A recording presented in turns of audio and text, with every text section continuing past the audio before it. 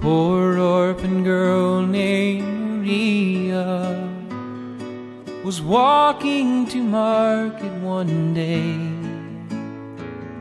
She stopped for to rest by the roadside where a bird with a broken wing lay.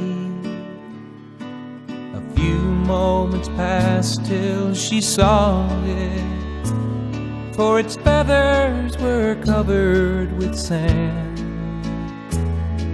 But soon clean and wrapped it was traveling in the warmth of Maria's small hand. She happily gave her last peso on a cage made of rushes and twine.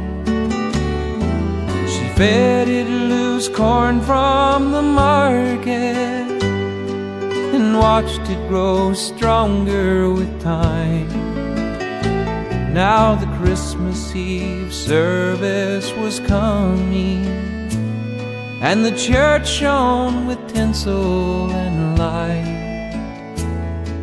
And all of the town folk brought presents to lay by manger that night. There were diamonds and incense and perfumes in packages fit for a king. But for one ragged bird in a small cage, Maria had nothing to bring.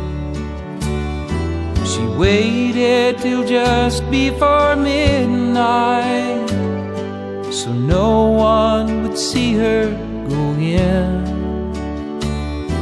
And crying, she knelt by the manger, for her gift was unworthy of him.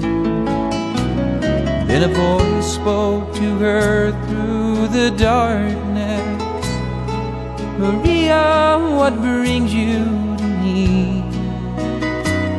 If the bird in the cage is your offering, open the door, let me see. Though she trembled, she did as he asked her. And out of the cage the bird flew,